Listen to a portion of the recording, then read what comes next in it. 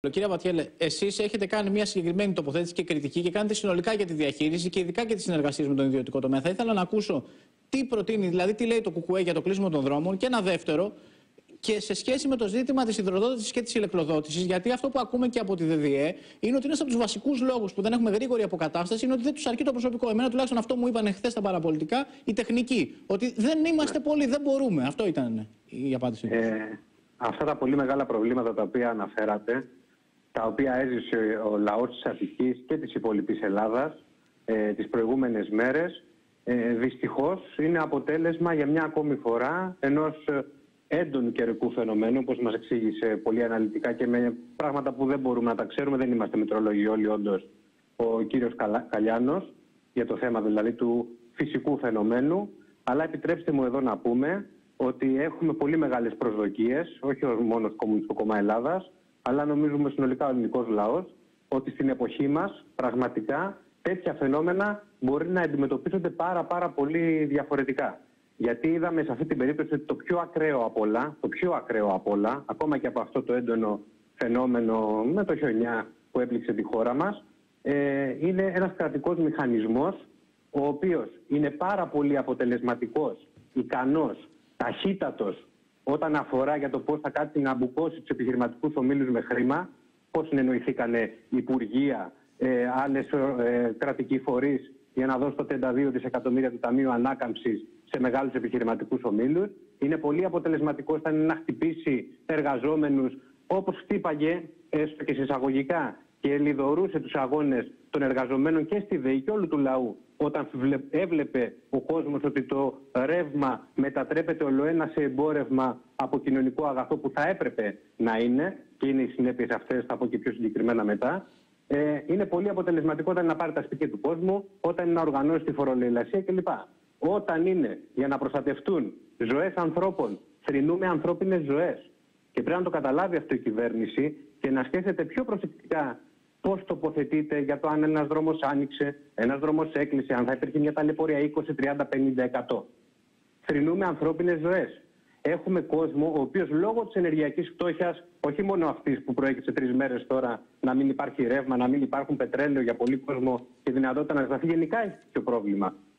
Και έρχομαι στο θέμα του ρεύματος το οποίο αναδείξατε, της σύνδρευση κλπ. Εδώ έχουμε ένα πολύ καθαρό παράδειγμα το πώς η ιδιωτικοποίηση της παραγωγής, της διανομής, της μεταφοράς της ενέργειας, το σπάσιμο της ΔΕΗ σε ΑΔΜΙΕ και ΔΕΔΙΕ κλπ. Από εκεί που θα μας πήγαινε πολλά χρόνια μπροστά, με έναν χιονιά, μας πήγε πάρα πολλά χρόνια πίσω. Πάντως, κυρία πρέπει να Αμπατέλη, ακόμα δημόσιος είναι ο, ο, ΑΔΜΙΕ και ο ναι, ΔΕΔΙΕ. Ακόμα δημόσιο είναι. Είπατε ένα πολύ σημαντικό καλά. Ε, λειτουργεί με ιδιωτικοοικονομικά κριτήρια και αυτό είναι το μεγαλύτερο πρόβλημα. Όποιος και αν φαίνεται ότι είναι γενικά ο ο μεγαλομέτωχος μιας τέτοιας επιχείρησης που ξαναλέω σε ένα θέμα, το ρεύμα, που είναι δημόσιο, πρέπει να είναι κοινωνικό αγαθό. Δεν μπορούμε, γιορτάζουμε τα 200 χρόνια από το 1821. Δεν μπορούμε να ζούμε τις μέρες τότε ε, στην πραγματική ζωή. Α τα θυμηθούμε, να τα συζητήσουμε πώς ήταν. Αλλά εδώ πέρα ο κόσμος δεν είχε ρεύμα. Να, δεν είχε δυνατότητα να ζεσταθεί. Και θέλω να πω για αυτό που είπατε, επειδή οι εργαζόμενοι, είτε οι μόνιμοι, οι πάρα πολλοί εργολαβικοί, οι οποίοι να ξέρετε ότι έχουν μειωθεί μόνο χίλιοι, χίλιοι κάτι μόνο τα τελευταία χρόνια, δίνουν μεγάλο αγώνα με κίνδυνο της ζωής τους και τα σωματεία τους. Συνολικά οι εργαζόμενοι τα φέρνουν αυτά τα θέματα. Πολύ τακτικά. Εδώ δεν ήταν πριν από 10 μέρες που λόγω του απαρχαιωμένου υλικού στη Δυτική Αττική ε, και βλάβης που προκλήθηκε εκεί πήγε να πάρει φωτιά η μισή Δυτική Αττική, ε, κόπηκε το ρεύμα στην Πελοπόννησο και αλλού. Αυτά είναι που πρέπει να, να συζητήσουμε. Ε, νομίζουμε ότι υπάρχει πλέον ε, μεγάλη πείρα σε αυτά τα ζητήματα. Υπάρχει πείρα και από την υγεία. Να σας πούμε, συνεπής είναι η κυβέρνηση.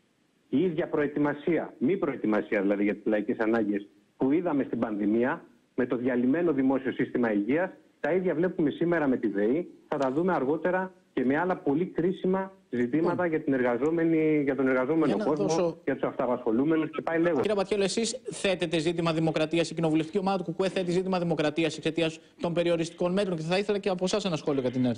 Εντάξει, εμείς βλέπουμε, ναι, καλά, ένα σύντομο σχόλιο για το θέμα της δημοκρατίας, γιατί ξέρετε είναι και λίγο υποκριτική μια συζήτηση από όλες τις τελευταίες κυβερνήσεις.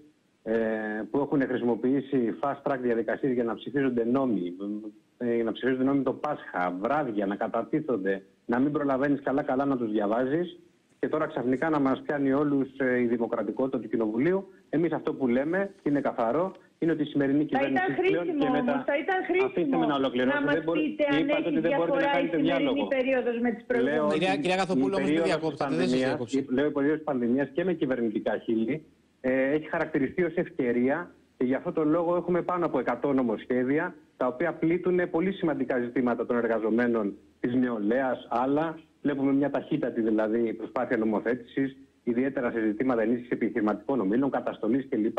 Όταν άλλα πολύ σημαντικά όπως αυτά που λέγαμε πριν πάνε στις καλένδες, σηκώνει τα χέρια ψηλά ο κρατικός μηχανισμός και δεν βλέπουμε για αυτά. Και είναι και από τις προηγούμενες κυβερνήσεις. Νομίζω ότι ο, η συζήτηση των πολιτικών αρχηγών, για να πάω στο άλλο ερώτημα για την ΕΡΤ στη Βουλή, ήταν λίγο πιο ειλικρινή, θα πω σε εισαγωγικά, από την τωρινή των εκπροσώπων των κομμάτων, γιατί και οι δύο παραδεχτήκανε εμέσως πριν σαφώς ότι η ΕΡΤ χρόνια τώρα λειτουργεί ως φερέφωνο της εκάστοτε κυβέρνησης. Θέλετε να βλέπετε ραβασάκια, θέλετε να βλέπετε συγκεκριμένες εκπομπές, θέλετε με πάρα πολλούς τρόπους. Και το μέτρο της δημοκρατικότητας, ας το απλώσουν λίγο και εκεί στο ΣΥΡΙΖΑ, γιατί η πρόταση του Προέδρου του ΣΥΡΙΖΑ, του κ. Τσίπρα, ήταν να μην είναι μονοκομματική η διεύθυνση της ΕΡΤ, να είναι της Νέας Δημοκρατίας και του ΣΥΡΙΖΑ. Μέχρι εκεί φτάνει η δημοκρατικότητα. Κάνετε λάθος. Οπότε, Είπαμε με αυτή είναι η πλειοψηφία ομιλία της της- Επιτροπής η ομιλία Θεσμών του και στη- στη Διαφάνειας. Βουλή. Δεύτερο θέμα, επόμενο. Επειδή η συζήτηση που έγινε στη Βουλή τώρα για, το οπτικοακουστικό, για τον οπτικοακουστικό χώρο έχει και ένα άλλο κρίσιμο θέμα, επιτρέψτε μου να το πω, ε, γιατί απασχολεί πολύ κόσμο και ήταν κόσμος στους δρόμους ακόμα και χτες με τα χιόνια. Είναι ο τρομονόμος στη μουσική. Ανάμεσα σ' άλλα, ανάμεσα δηλαδή στον μπούκομα των καλαναρχών με 3,5 νομίζω κοντά εκατομμύρια, για άλλη μια φορά δηλαδή χρήμα, κατατέθηκε άλλη μια φορά, τρίτη φορά, τροπολογία του ΚΚΕ που λέει και ας πούνε τα για τα υπόλοιπα κόμματα με μια κουβέντα αν συμφωνούν ότι οι ενημερωτικές καμπάνιες για, το, για την πανδημία δεν μπορούν να πληρώνονται αδρά, πρέπει να είναι δωρεάν. Είναι ενημερωτικές καμπάνιες πολύ χρήσιμες και σημαντικές για όλο τον κόσμο αυτή την περίοδο και είναι ντροπή να γίνεται αυτή η διαδικασία. Ψηφίστηκε και ο μουσικός τρομονόμος. Το λεγόμενο η, η ενσωμάτωση της αντιδραστικής οδηγίας Ευρωπαϊκής Ένωσης, το άρθρο 8, στο οποίο με αυθαίρετες και πολύ γενικές φράσεις για το στίχο ενός τραγουδιού, ενός καλλιτεχνικού έργου, οτιδήποτε, ε, θα μπορεί να διώκεται ε, ο, ο δημιουργός του, ο συνθέτης του ή να κατεβαίνει από το διαδίκτυο, να μην μπορεί να το ακούσει κανένα.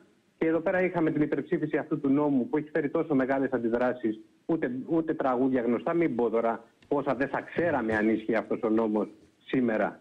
Γνωστά τραγούδια που έχουν σημαδέψει την ελληνική κοινωνία ε, ιστορικά, τους αγώνες του λαού μας κλπ.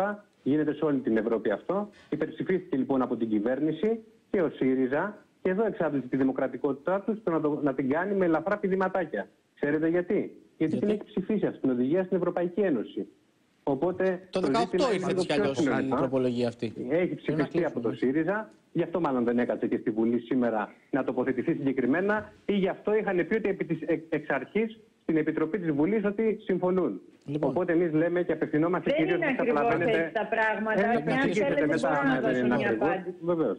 Ε, θέλουμε να πούμε στον ελληνικό λαό ότι για μας αυτή η κυβέρνηση σε συ- συνέχεια του έργου των προηγούμενων οξύνει κι άλλο την καταστολή γιατί βλέπει ότι η οργή του κόσμου βράζει. Λοιπόν, βράζει κύριε για την Κανάλη. διαχείριση της πανδημίας, βράζει για την οικονομική κρίση που είναι πάλι εδώ και πάλι σχεδιάζει, ήδη έχει ξεκινήσει να φορτωθεί στους εργαζόμενους, να φορτωθεί στους αυτοαπασχολούμενους και ποτέ στους μεγάλους επιχειρηματικούς ομίλους και προσπαθούν Λοιπόν, να πάρουν τα μέτρα τους. νομίζω ότι Εμείς λέμε τουλάχιστον οι εργαζόμενοι να πάρουν και εκείνοι τα θέσεις σας μέτρα τους, έγιναν να οργανωθούν κατανοητές. και να παλέψουν με το κουκουέ πάντα θα είναι μπροστά σε αυτόν τον αγώνα.